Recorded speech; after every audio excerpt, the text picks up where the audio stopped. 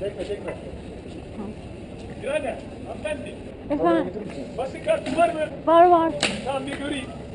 Oradan geldim Bir zaten. ikincisi ne? Artık polisi çekmeyin ya. Çekmeyin polisi. Gösterici verecek. Burayı çek.